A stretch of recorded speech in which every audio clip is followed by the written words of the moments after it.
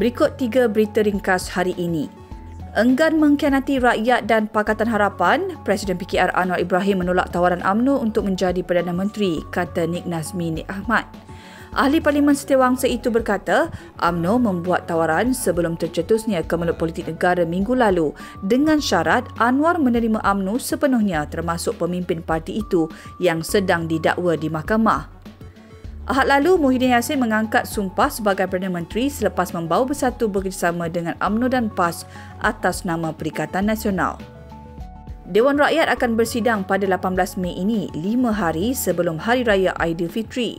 Speaker Muhammad Arif Mat Yusof berkata beliau mendapat notis daripada Perdana Menteri Muhyiddin Yassin untuk menunda sidang yang sepatutnya bermula 9 Mac ini kepada tarikh baru. Persidangan ditetapkan berlangsung 15 hari sehingga 23 Jun.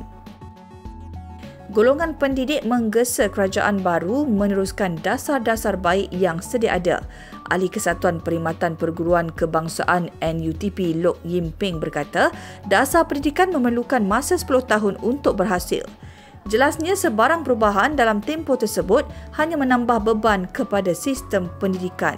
Antara dasar yang bagi beliau patut diteruskan adalah program pembelajaran dui bahasa, pengurangan peperiksaan dan lebih penumpuan pada pendidikan teknikal dan latihan vocational TVET.